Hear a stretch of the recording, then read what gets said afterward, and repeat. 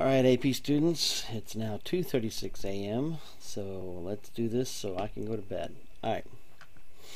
I have pulled up the primary source packet 1 on the left side of the screen here and I have the A parts worksheet for sourcing on the right here. okay, A parts, APP parts, oh, AP parts, sorry. Um, author, place and time, prior knowledge, audience, reason, the main idea, and finally, so what, the significance. Okay, let's go through a couple of these documents in the primary source packet. Um, the first one, Christopher Columbus's Journal 1492. Now, I'm not going to ask you to source all of the all of the primary source documents in the primary source packet. Please understand the assignment I'm looking for you to do this weekend involves the documents in the document-based question. There are six of them, and I will show them to you here in a little bit. But I'm going to work through the A-part system so you guys can see what we're talking about. For document A, we're going to pretend this is uh, the Journal of Christopher Columbus. Obviously, it's uh, my good buddy Chris. Okay. So Chris Columbus here, okay? That is our author. Place and time. Um, get as specific as you can, usually just a year. This is Thursday, October 11th, so, and it's 1492. Okay, so 10, 11, 1492. There we go. All right, moving on prior knowledge. Uh, this could be your prior knowledge. Um, I'm assuming that's really all it is. I mean, I suppose you could read it to say the prior knowledge of the author, but I'm not sure how helpful that would be because here the prior knowledge would be Columbus would have thought he had prior knowledge of a shortcut route. Um, but what is your prior knowledge? What is your prior knowledge that you bring to this table? What do you know? And just list off a few things. Uh, so you know that um, uh, that uh, he believes he is in India. All right. Not in a new continent. Jeez, if I can spell it um, something else we could put? We could uh, excuse me.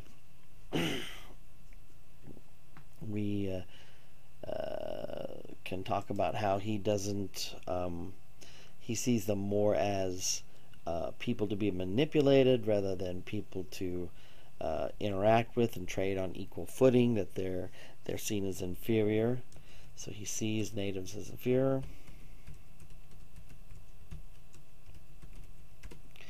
Uh, what are we know he's we know he's Italian, but he's sailing for Spain. So there's probably some conflict there. Uh, we got we also know that that he's doing this in the name of the king and queen of Spain, not on his own accord. So um, he works for Spain the Spanish kings and queens. And we keep going on for that. So so keep keep jumbling up as many ideas as you think are relevant and necessary. Uh, but don't uh, don't go hog wild here. Don't go crazy. Uh, this assignment, I'm looking for you just get to feel familiar with doing this. I'm not looking for you to tear apart this document piece by bloody piece. I want you to actually have fun cooking out and grilling out on Memorial Day, provided it's not going to be raining. Who's the audience here? Well, this is um, this is his journal, and normally I would say journals are for the writer, but this is probably more like his ship's journal. So this is like an official log. So it's an official log that would be um, shown to anyone who had authority or reason to inspect the contents or who, needed to evaluate the contents. So obviously anyone in the government, the king or queen, anybody in charge of the ships, anybody in charge of uh, naval uh, naval maneuvers for the country of Spain, something like that. So it's an official document. It would be written towards uh, government officials. So let's put this down here.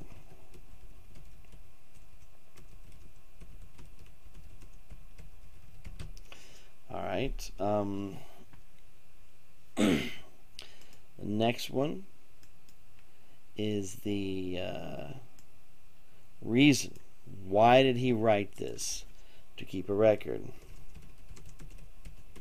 But also to um, sell this voyage as a win for the King and Queen of Spain. After all, the King and Queen of Spain paid for his trip over here.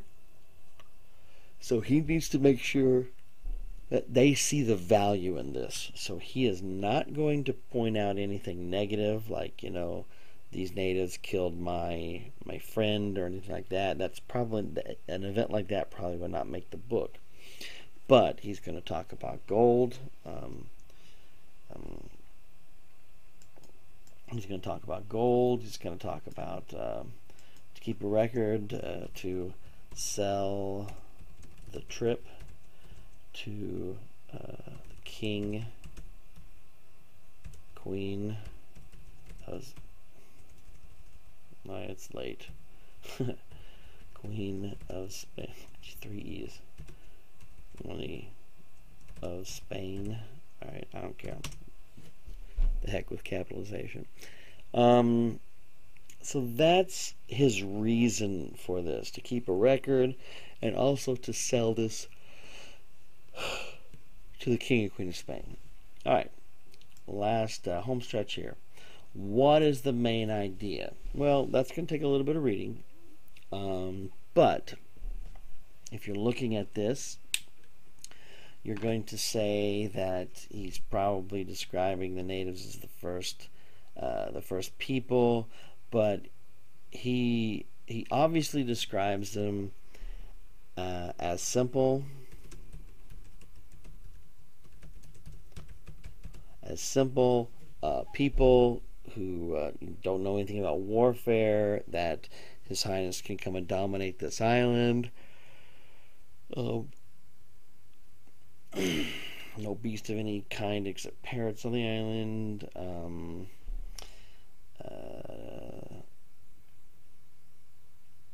let's see. He's basically describing them, but he's describing them as just simple people who go around half naked, who who paint themselves black, and uh, uh, who are you know a very you know very very basic type of uh, society. Um, so yeah, there you go. The so what why is this document important? Uh, this document describes uh, Columbus's uh, opinions about the natives, and that sets up the attitudes that would be present from that point on. Columbus's writings are a starting point that are either confirmed or um, refuted by the evidence, but um, there's no reason to not confirm these uh, these events. All right, um, let's do another one real quick. Not Columbus's journal, something else. Um, Doctrine of Discovery. We can we can do that one. Uh, so we'll make this one. Uh, number B, or letter B here. Author. The author is, it's a papal bull issued by Pope Alexander V. Or actually the 6th, Alexander the 6th. Okay?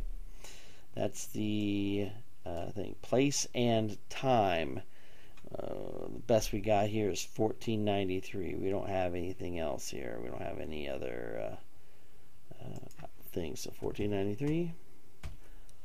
And uh, prior knowledge. You might not have any prior knowledge about Pope Alexander the Sixth. Um, Pope Alexander the Sixth was a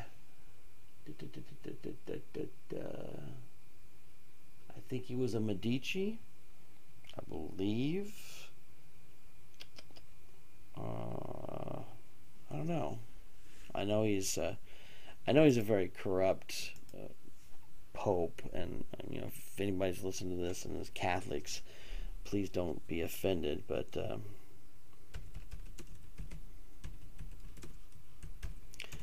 um, oh, he was a Borgia. Never mind. Yeah, he was a Borgia.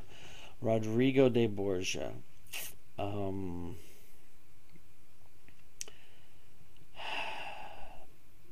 yeah. Anyway.